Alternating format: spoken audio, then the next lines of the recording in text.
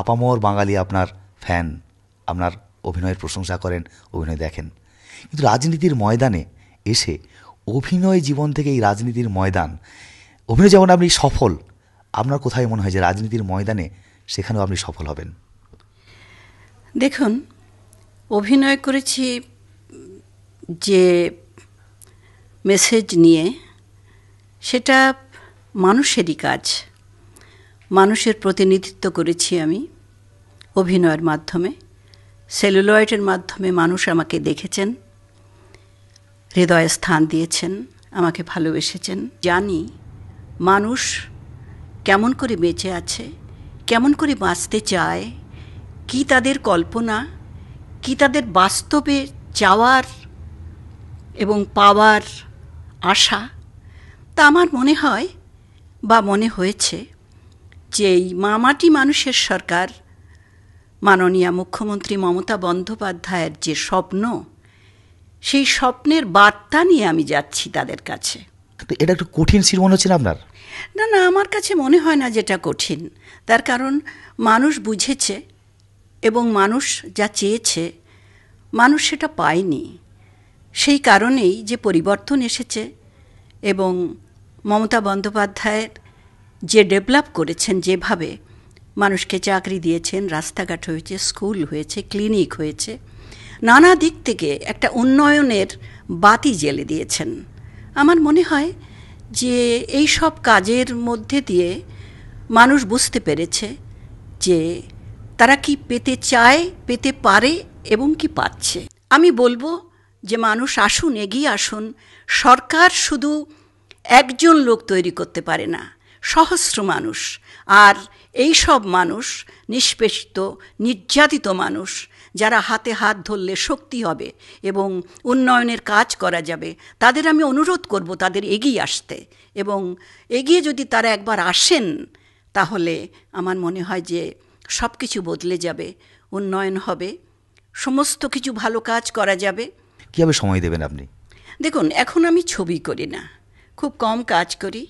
সময় আমি দিতে পারব এবং মানুষের সেবার জন্য আমি এগিয়ে এসেছি।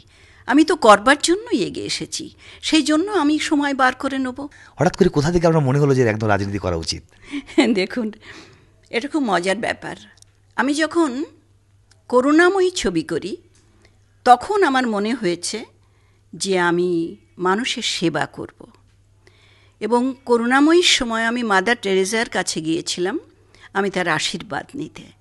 তিনি একটা কথা আমায় বলেছিলেন যে তোমার কাজ ঘরের মধ্যে নয়, তোমার কাজ মানুষের জন্য।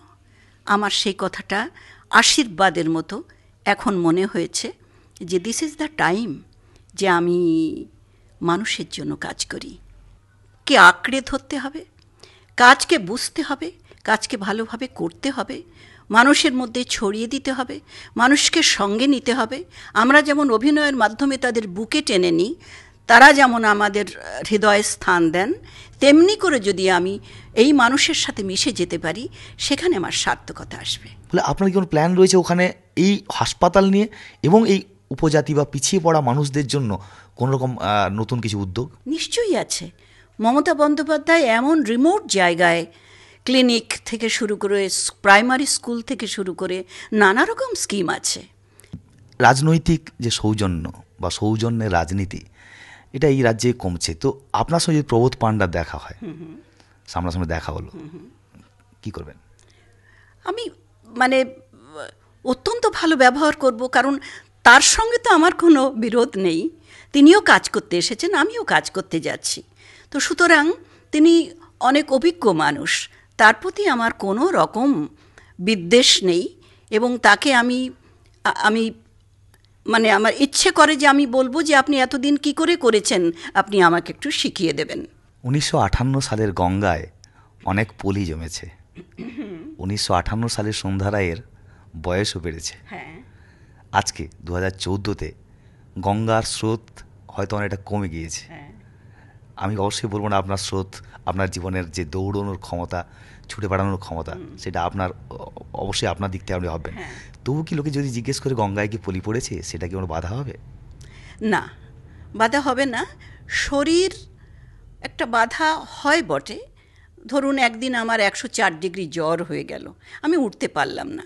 কিন্তু মন মন কিন্তু দৌড়ে যাবে। যে কাজ আমি করতে যাচ্ছি, যে কাজ আমি নিয়েছি, যা, যে কাজের প্রতিশ্রুতি দিয়েছি, সেই কাজটা করবার জন্য মন আমার আগে গিয়ে উপস্থিত হবে।